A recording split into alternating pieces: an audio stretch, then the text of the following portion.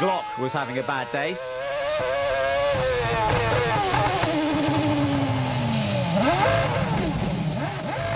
One pirouette too many resulted in a skirmish with the barriers.